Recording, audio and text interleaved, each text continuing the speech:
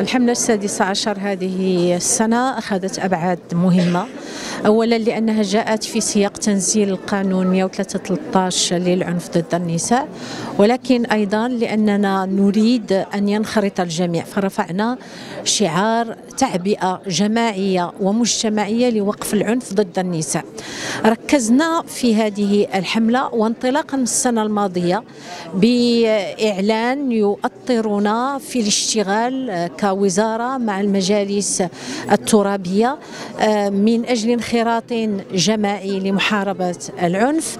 آه، ركزنا وراهنا على دور المجالس الترابية على اعتبار أنها هي الأقرب من المواطنين على اعتبار الاختصاصات الجديدة المنوطة بها آه، على أساس الأدوار والاختصاصات كذلك المشتركة فيما بين الإدارة المركزية والمجالس الترابية.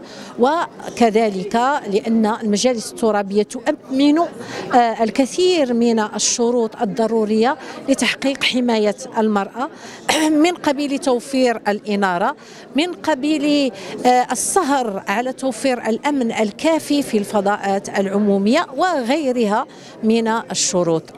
لا ننسى الدور المهم الذي تقوم به جمعية المجتمع المدني على اعتبار الشراكة التي تجمعنا وإياه سواء كانت مراكز الاستماع للنساء ضحايا العنف والتي ندعمها على مدى ثلاث سنوات متتالية دون تقطع ثم كذلك الدور الذي تقوم به من حيث التعبئة من حيث الترافع من حيث كذلك تأطير المجتمع لأننا في حاجة إلى تأطير كذلك المواطن آه، على اعتبار آه، آه، أهمية ثقافة الاحترام أهمية أن يكون هناك العيش المشترك في فضاءات أو في مناخ سليم. ومستقر.